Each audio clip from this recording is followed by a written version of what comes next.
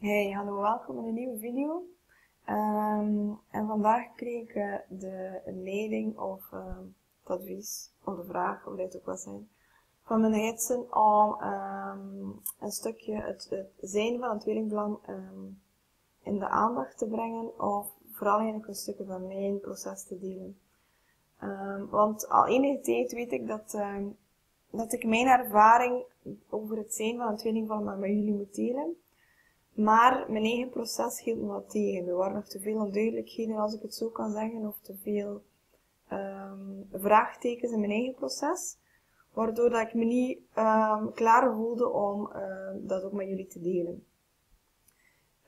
Echter, deze nacht uh, kreeg ik immers zoveel downloads dat ik voelde dat het tijd was om uit mijn grot te komen, wat dat, dat betreft. En um, om eigenlijk de naakte waarheid van het zijn van een tweelingvlam en wat dat betekende voor mijn leven, en dus ook voor jullie leven, um, om dat te delen met jullie. Zodanig dat er tegen eind 2020 zoveel mogelijk tweelingvlammen um, in union zijn, dus in verbinding zijn. Betekent dat altijd sowieso in 3D? Nee, vooral ook in 5D. Um, ehm, want ook over te zijn in union zijn ook heel veel misverstanden. En het is ook de bedoeling dat ik uh, in komende video's daar ook dieper op ga ingaan vanuit mijn eigen ervaring en vanuit uh, informatie die gechanneld is van, uh, via mijn gidsen. Of uh, opgestegen meesters. Um, en de, grootste reden waarom ik je vertel over mijn proces als tweelingvlam is omdat er eigenlijk te veel foute informatie op internet gedeeld wordt over het zijn van een tweelingvlam. Um, bovendien zijn sommige readers of channelers zelf geen tweelingvlam, waardoor dat ze nooit de werkelijke kern van de energie van een tweelingvlam kunnen channelen. Um, en ik heb daar geen oordeel over, want tenslotte loopt iedereen zijn eigen proces. Maar ik heb wel geleerd en ervaren dat je niet kan channelen, dus dat wil zeggen informatie ontvangen, um, van hogere energieën of van kennis dat buiten je bewustzijn ligt. Dus dat eigenlijk je bewustzijn niet bereikt. Um, en je zou het kunnen vergelijken wanneer je iets leert als, uh, als student. Hè. Wanneer je een aanknopingspunt vindt in je referentiekader, dus in het kader waar dat eigenlijk alle kennis en alle ervaring die je reeds geleerd hebt door je hele leven, als je daar iets in vindt dat je kan koppelen aan de nieuwe kennis die je wilt uh, gaan onthouden, dat je wilt gaan opnemen, dan ga je die nieuwe kennis ook sneller gaan leren. En dat is trouwens ook een bewezen theorie met betrekking tot uitbreiden van je intelligentie. Dus je kan eigenlijk slimmer worden door het, hetgeen wat je al kent te gebruiken om nieuwe informatie te observeren. Obser, absorberen, zo is het. Uh, maar uiteindelijk gaat deze video daar niet over. Uh, deze video gaat over uh, het zijn van een tweelingvlam. Ehm, en in de komende video's wil ik met jullie mijn proces delen over eh, hoe dat was om een tweelingvlam te zijn voor de ontmoeting van mijn tweelingvlam. Ehm, tijdens de ontmoeting met mijn tweeling van, maar ook um, over mijn karmische relaties, over soulmate relaties, uh, een stuk over mijn eigen healing en ontwikkelingsproces, omdat dat ook jou, voor jou een voorbeeld is van hoe je het kan anders gaan aanpakken. En um, hebben ze mij ook gevraagd om een stuk te delen over nieuwe templates met betrekking tot relaties en dus ook echtscheidingen um, uh, nieuwe templates rond opvoeden van kinderen, rond onderwijs en eigenlijk alles wat mijn gidsen zullen aanbrengen, dat ik mag delen met de wereld uh, op het moment dat de tijd hiervoor rijp is. Nu, ik weet als geen ander dat de reis als een tweelingvlam in de sterrenzout heel moeilijk en onvoorspelbaar en vooral ook heel grillig kan zijn. Het is totaal uh, je, kan, je hebt er totaal geen controle over en dat is een van de grootste uitdagingen in, um, op zijn minst voor mij was dat toch een van de grootste uitdagingen, om um, mezelf daaraan over te geven. Om die controle los te laten. Um, verder haalt de connectie met je tweelingvlam de diepste schaduw in jou naar boven. En dat, mooi mens, is eigenlijk één van de doelen van het ontmoeten van je tweelingvlam. Er zijn verschillende doelen, maar dat is één van de doelen. Uh, en op mijn blog, um, in de blog dat je terugvindt op uh, mijn website www.schoolvooressentie.be uh, en essentie met twee S, dus niet met een T geschreven.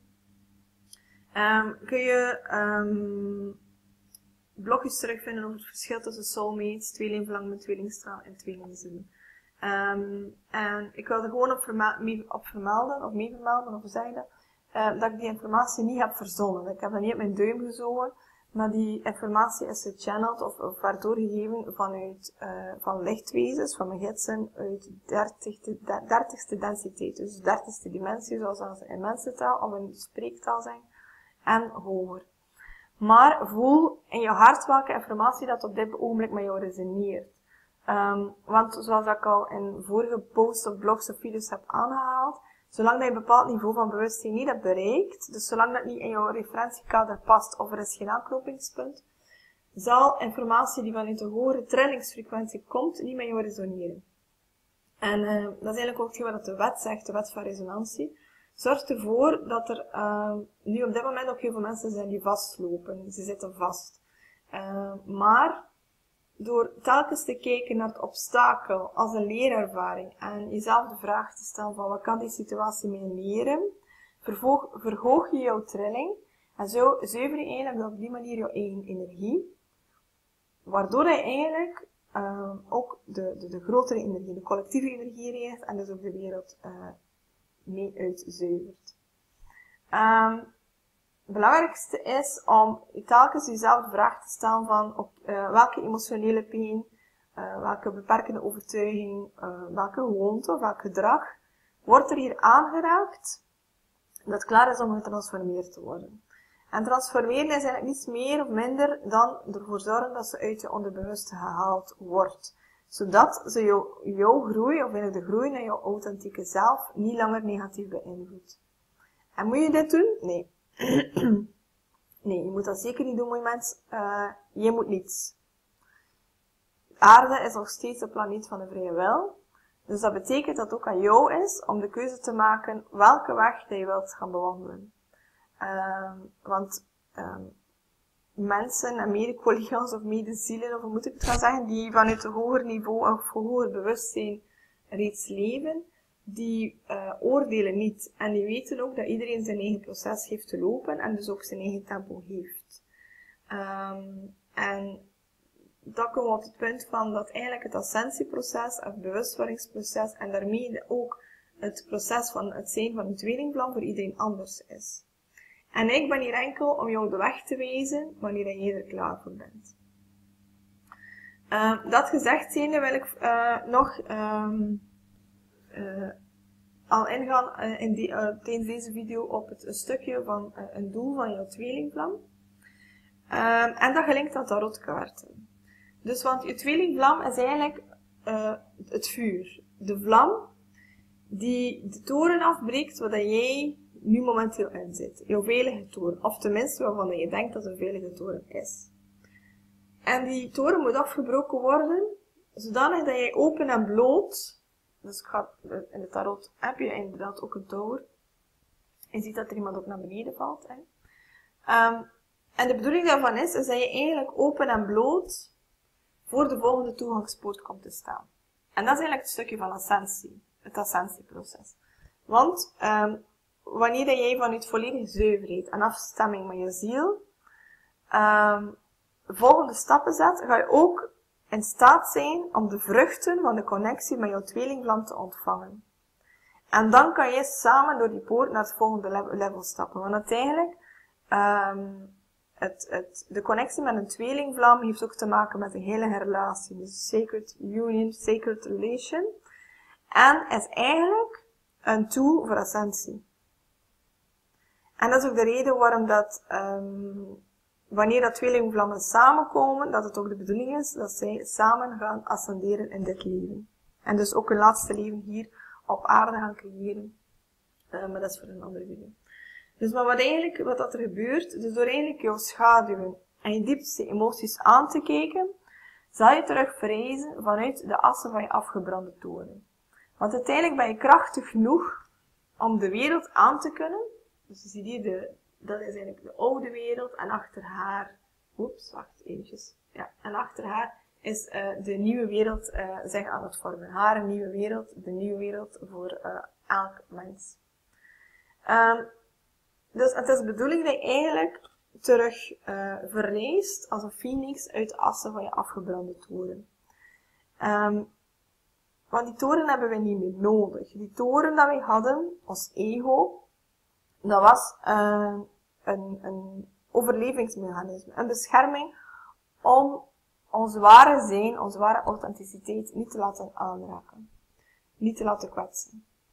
Maar nu, als wij die nieuwe wereld willen gaan creëren, dan is het belangrijk dat wij net vanuit die authenticiteit de wereld intreden en um, aan de andere mensen tonen van dat het ook allemaal op een andere manier kan. En dan zijn we komen terug op het creëren van nieuwe templates, nieuwe blauwdrukken voor al de dingen dat we doen in ons leven.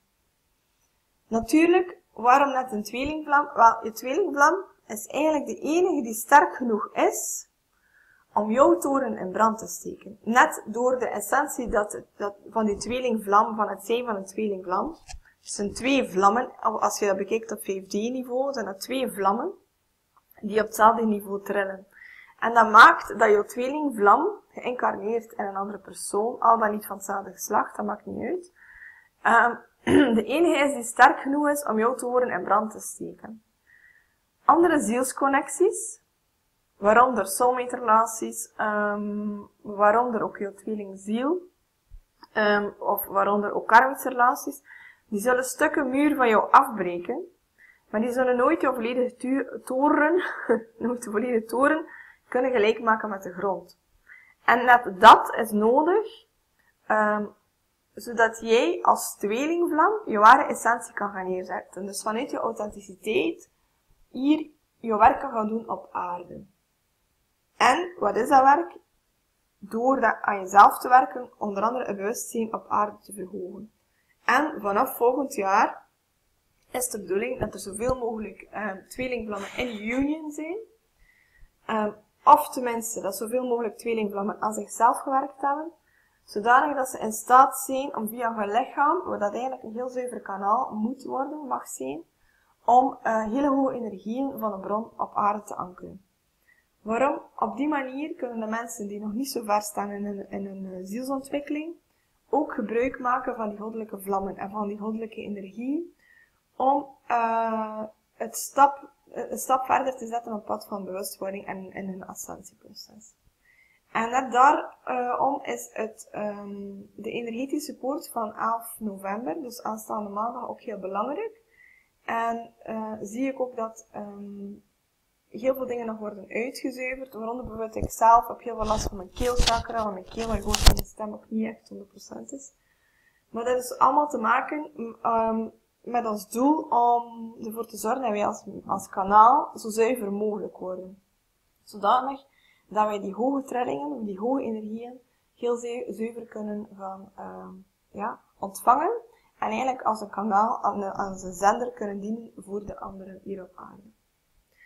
Zo, um, ik ga het hierbij laten voor deze video. Mocht je vragen hebben over tweelingvlam, over het ascensieproces, um, voel je altijd vrij om ze hieronder in de post te zetten en dan neem ik dat mee in de volgende video.